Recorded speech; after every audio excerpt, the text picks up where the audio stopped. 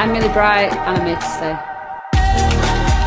Another contract with Chelsea, unbelievable feeling to yeah sign another one and to be staying for another three years with my yeah the club that I absolutely love and adore and would do anything for.